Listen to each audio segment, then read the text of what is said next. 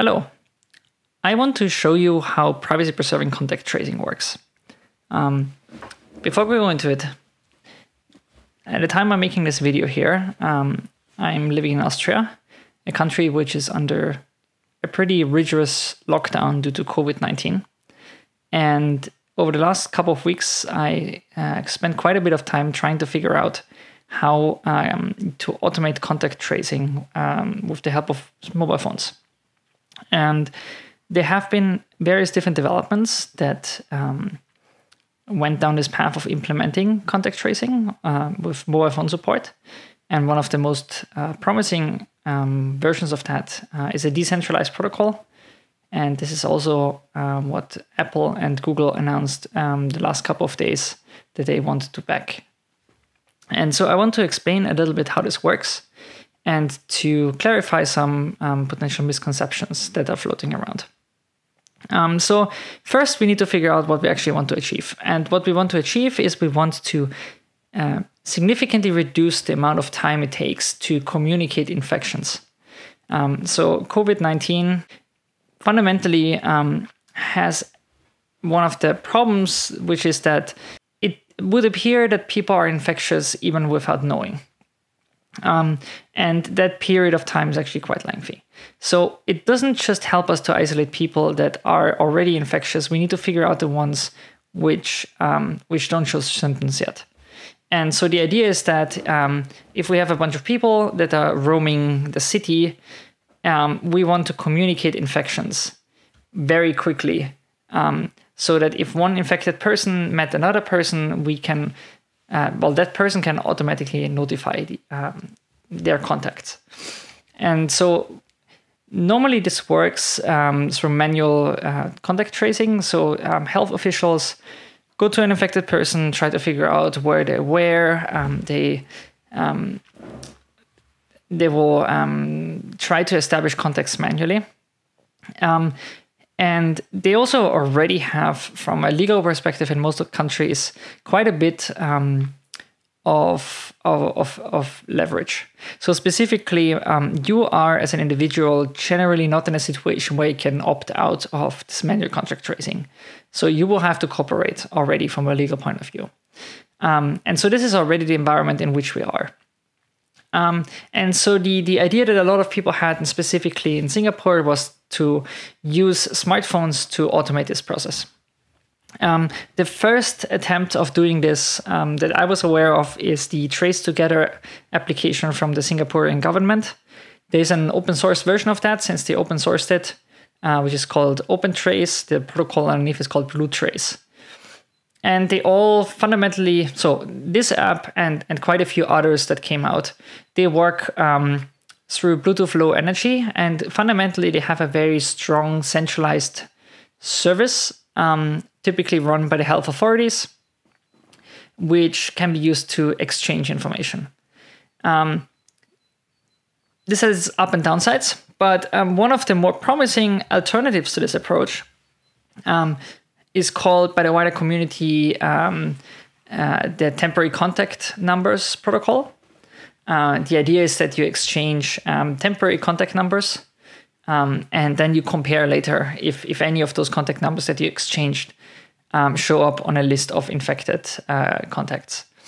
Um, the protocol that Apple and Google announced, um, which is what I'm going to explain in detail a little bit in this very short video, um, actually calls these temporary contact numbers rolling proximity identifiers, um, or RPI in brief. Um, and there's a very nice comic that explains the the, the protocol, the um, uh, the TCN based protocol uh, from Nicky Case. And so I took some of the drawings um, to, to explain this.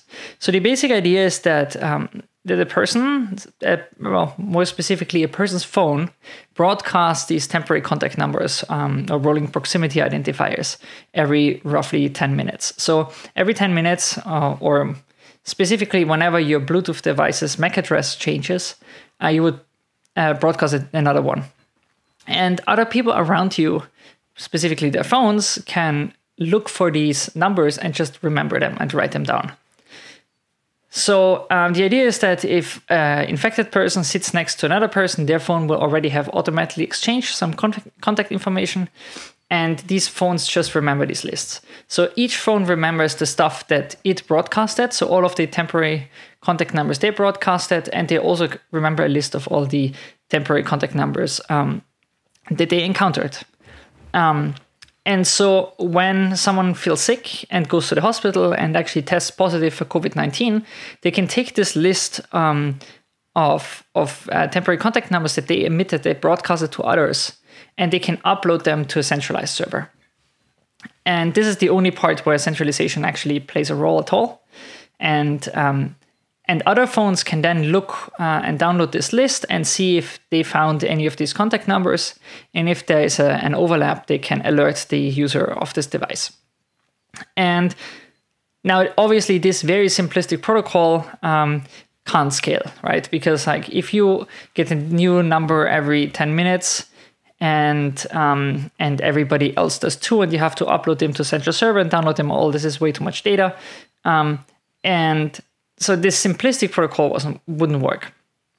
Um, but there are um, there are protocols that work better. So the one that got most traction until a couple of days ago was uh, is called DP3T.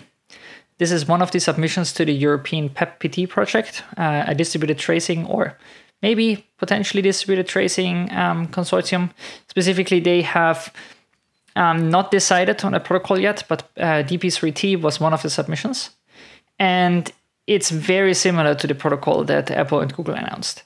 And so I'm actually only going to talk about the Apple Google version of it. But um, if, if you're interested in this, the DP3T white paper is actually very useful to understand some of the um, complexities associated with it and some of the potential attacks. So, how does it work? Um, it's very simple. You have a tracing key, which is unique per device. You keep this for yourself, you never share it with anyone. Um, typically, um, this could be a 32 byte random number generated by a random number generator. And then every day you derive a daily tracing key from this. Um, so every day you get a different um, identifier. And this is memorized on your device. And since the infectious period is around 14 days, you would only have to store 14 of these derived tracing keys on your device. Um, you can also, with the algorithm proposed in the paper, only store the tracing key and remember the number of the date because you can always get the same daily tracing key from the tracing key. Now, this daily tracing key stays with you, and for now, you don't share it. Um, but if you get infected, you would start sharing this key or, or the 14 keys that you want to expose. What you broadcast to other people, however, is, uh, is called the rolling proximity identifier. Uh, in DP3T, it's called the ephemeral ID um, in in the wider open source community of people that also um, build protocols around this is typically called the temporary contact number. And other people store these uh, rolling uh, proximity identifiers, but you don't have to upload them when um, when you get infected because when you get infected, you only have to upload the daily tracing keys. And other people download all of those um, daily tracing keys, and because of the uh, because of how this um, rolling proximity identifier is generated out of this, they can just generate them locally on the device. So basically, you generate all possibilities of them and you match them locally on the device. And if you see there's an overlap, you can alert the user. Um, this is basically it. It's a very simple system, um, but it has some implications.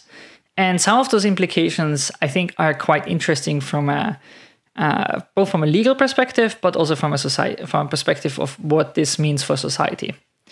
Um, so the the most obvious implications are that the data really stays local on your device, and it really only ever gets shared anywhere at all if a you are infected and b you choose to share it.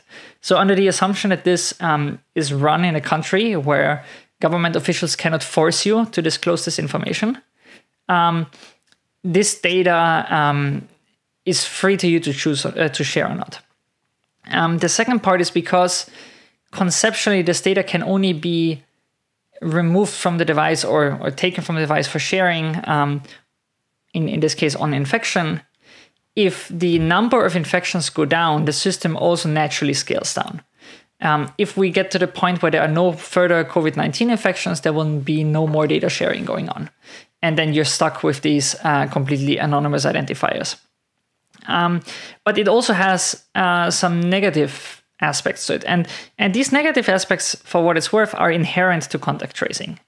And so it's, I think, going to be interesting for us as a society to figure out how to deal with them. Um, some of those problems, however, they are um, solvable and they're not necessarily inherent to how the system works. So, one of them, for instance, is um, at the moment, a lot of these tracing apps run into operating system limitations. Um, they want to use Bluetooth Low Energy. Bluetooth Low Energy um, can operate in kind of two modes. One of them is called the central mode, the other one is called the peripheral mode. And phones require, on iOS at least, the application to be in foreground for a phone to act as a peripheral.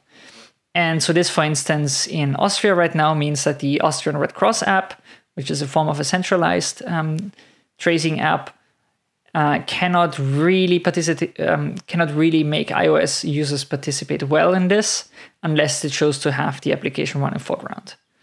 Um, and this is why the the fact that uh, iOS, well, the fact that Apple and Google are now participating in this um, is very encouraging because this would mean that um, operating system APIs become available and potentially even uh, the tracing could work even without applications installed. The second part is that the usefulness of this um, increases um, with the number of participants, and there's there's a there's a point where if the number of participants is too low, it's not useful at all. Um, how high that number has to be um, is, is quite disputed from what I've seen. Um, however, there are some misconceptions about it um, that are easy to um, address.